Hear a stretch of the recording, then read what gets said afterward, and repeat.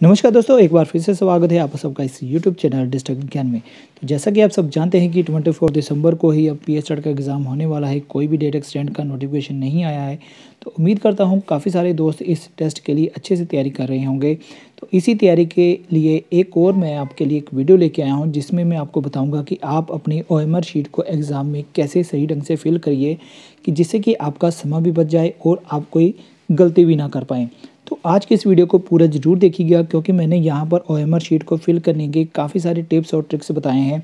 हो सकता है कुछ पुराने कैंडिडेट्स हों जिन्होंने पहले भी पेपर एग्ज़ाम दिया है तो उन्होंने इस टिप्स और ट्रिक्स को यूज़ किया हो।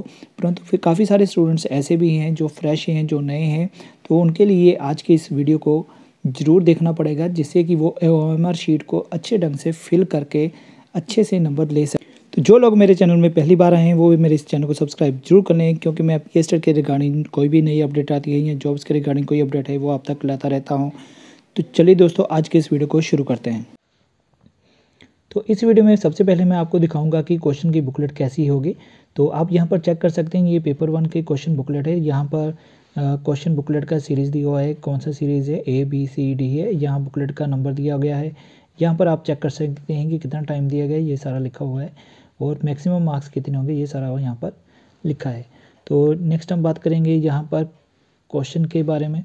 यहाँ पर क्वेश्चन कौन कौन से होंगे कौन सा पार्ट होगा, उसके कितने पेज पर कौन कौन से क्वेश्चन होंगे, ये सब इंस्ट्रक्शन यहाँ पर दी गई हैं। तो ऊपर सारी काफ़ी और भी काफ़ी सारी इंस्ट्रक्शंस दी गई हैं, ये आप सभी ने जब भी आप एग्ज़ाम देने जाएँगे, यहाँ पर आप पढ़ सकते हैं। उसके नीचे अगर आप इंग्लिश में पढ़ना चाहते हैं तो यहाँ पर इंग्लिश में सारी जो भी इंस्ट्रक्शन है, यहाँ पर लिखी होंगी। तो अभी मैं आपको एक ओ शीट के बारे में बताऊँगा कि आपकी जो ओ एम आर शीट होगी वो कैसी होगी। तो फ्रेंड्स ये आपकी ओ एम आर शीट होगी जो आंसर शीट है। तो यहाँ पर कुछ इंस्ट्रक्शंस भी दी गई हैं, ये भी मैं आपको पढ़कर बता देता हूँ। यहाँ पर लिखा हुआ है कि आपने ब्लैक या ब्लू पेन का यूज़ करना है। Do not do any rough work यहाँ पर आपने कोई भी रफ वर्क नहीं करना है एप्पल नहीं करना है शीट को। और यहाँ पर लिखा हुआ है कि अगर आपने जो डार्क करने हैं सर्कल्स तो उसका प्रॉपर मेथड क्या है कि आपने ऐसे ही डार्क करना है सर्कल को। तो जो नीचे दिए गए हैं, ये आपने क्रॉस कर देना है या टिक करना है या हाफ़ करना है या सिर्फ़ डॉट लगानी है, ये सभी नहीं करना है आपने। तो फ़र्स्ट कॉलम जो है वो नेम ऑफ़ कैंडिडेट का है। नेक्स्ट उसके बाद फादर नेम आता है।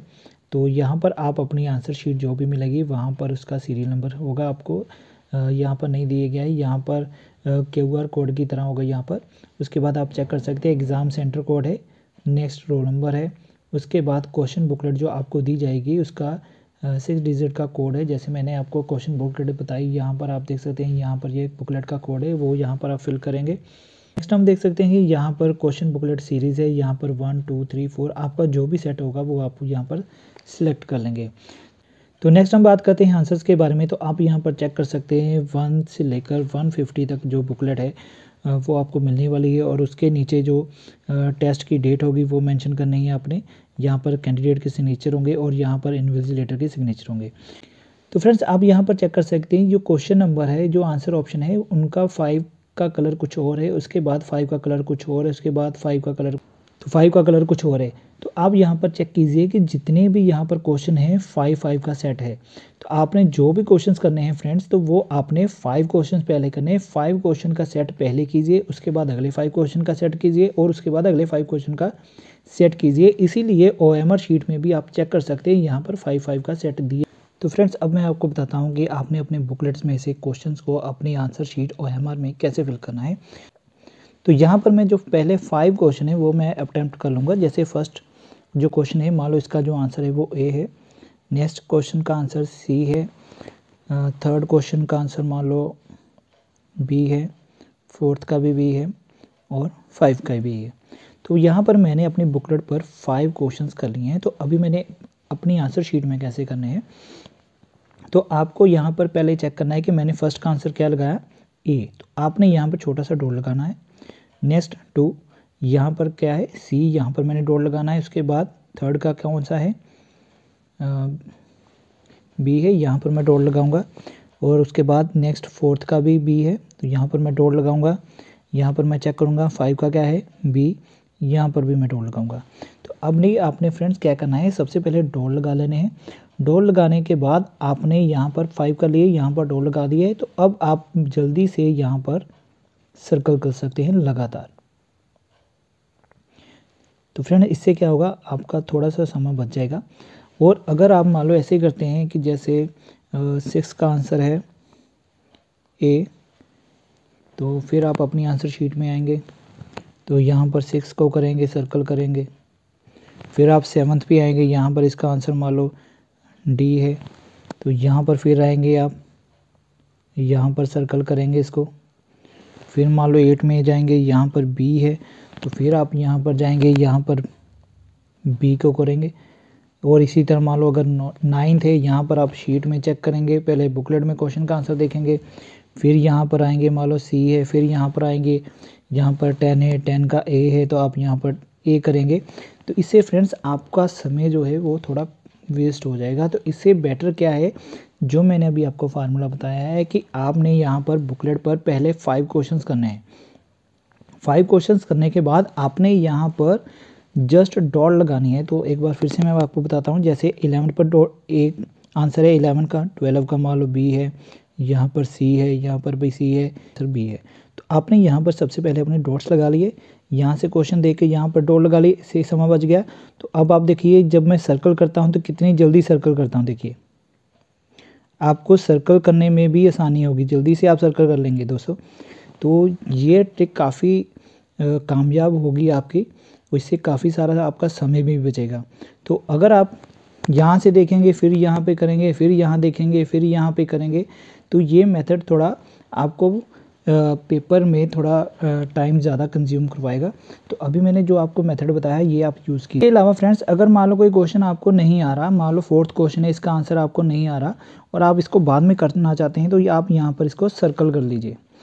और इसी तरह अगर आप फाइव कर लिया और सिक्स नहीं आ रहा तो आप इसको सर्कल कर लीजिए, जिससे कि जब भी आप अपना पेपर पूरा अटैम्प्ट कर लेंगे तो उसके बाद अगर आपके पास समा है तो आप ये क्वेश्चन सारे अच्छी तरह से चेक करके इसका आंसर लिखिए। अगर आपके पास समय नहीं है तो यहाँ पर जैसे कि नेगेटिव मार्किंग नहीं है तो आप कोई भी अपने इच्छा अनुसार जो है, वो इसका आंसर लिख सकते हैं। तो इसलिए आपको सबसे पहले जो आंसर्स आते हैं, वो आपने यहाँ पर करने हैं। जो आंसर्स आपको नहीं आते, वो आपने यहाँ पर सर्कल कर लेने हैं। तो फ्रेंड्स एक और टिप्स आपको मैं बताने जा रहा हूँ कि जब भी आप अपना क्वेश्चन पेपर करेंगे तो एक बात का ध्यान रखना है कि सबसे पहले तो आपने वही क्वेश्चन करने जो आपको आते हैं।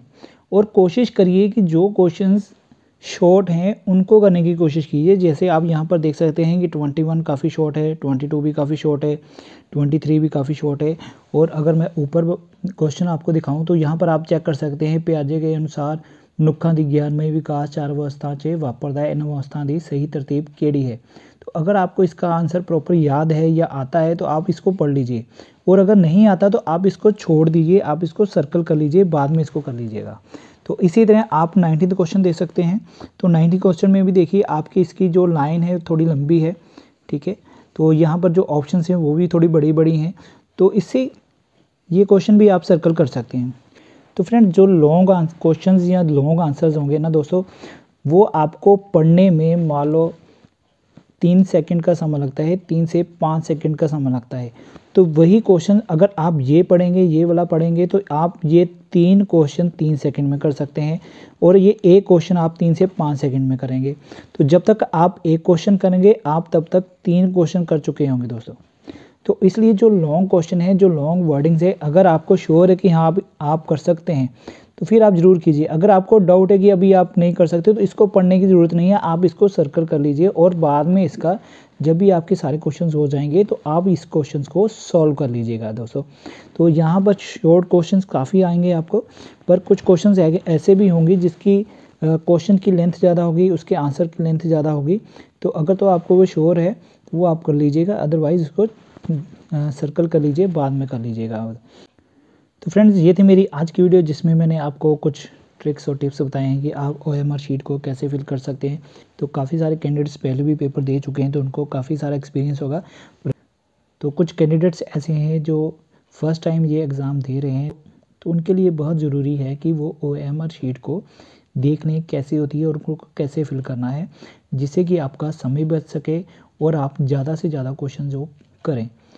तो अगर मेरी ये वीडियो दोस्तों आपको अच्छी लगी है तो इस वीडियो को लाइक कीजिए और मेरे चैनल को सब्सक्राइब करना मत भूलिएगा दोस्तों। तो मिलते हैं हमारी नेक्स्ट वीडियो में दोस्तों, तब तक के लिए जय हिंद।